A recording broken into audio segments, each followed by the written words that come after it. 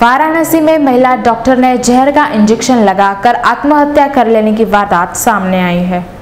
उत्तर प्रदेश में वाराणसी के केट थाना क्षेत्र में अर्दली बाज़ार स्थित एक नर्सिंग होम की संचालिका डॉक्टर ने कथित रूप से जहर का इंजेक्शन लगाकर आत्महत्या कर ली है। पुलिस ने घटनास्थल से सुसाइड नोट बरामद किया है। स्त्री रोग विशेषज्ञ डॉक्टर शिल्पी राजपूत पर अपने पति डॉक्टर डीपीसी की हत्या कराने का आरोप था और वह जेल भी जा चुकी थी। डॉक्टर डीपीसी की 11 साल पहले गोली मारकर हत्या कर दी गई थी। पुलिस के अनुसार शहर के विंध्यावासिनी कॉलोनी निवासी डॉक्टर राजपूत अर्दली बाज़ार में अपना नर्सिंग होम चलाती थी। उन्होंने बृहस्पतिवार की रात खुद को जहर का इंजेक्शन लगा लिया, जिसमें उसकी मौत हो गई।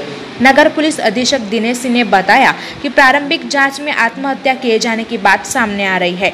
पुलिस ने महिला डॉक्टर के शव को पोस्टमार्टम के लिए भेज दिया है और मामले के अन्य पहलुओं की भी जाँच कर रही है।